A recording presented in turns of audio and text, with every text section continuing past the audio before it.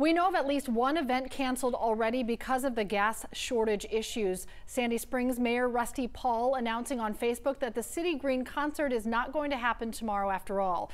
He says the staff needed to put on that event, including the group coming in from New Orleans, was impacted by the fuel shortage, so they can't guarantee there'd be enough people to work the event and keep everybody safe. The mayor hopes to reschedule it at a later date.